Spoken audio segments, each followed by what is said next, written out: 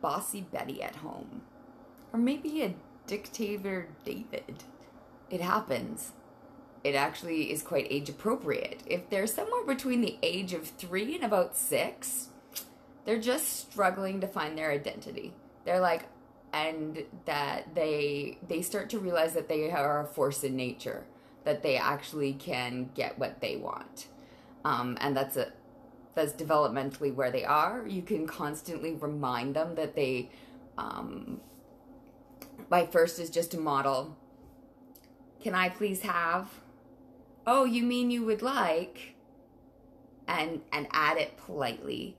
You can. The other thing that I often do is that if I have other kids around, I'll be like, how does that make you feel?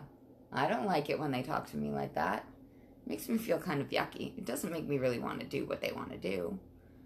And just modeling it.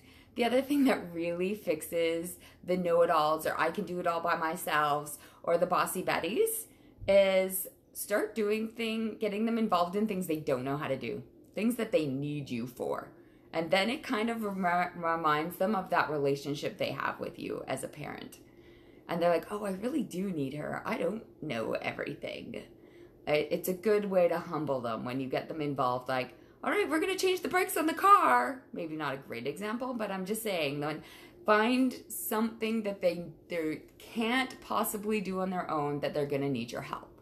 That's probably one of the best reminders and humblers for bossy Betties and dictator dictator Davids.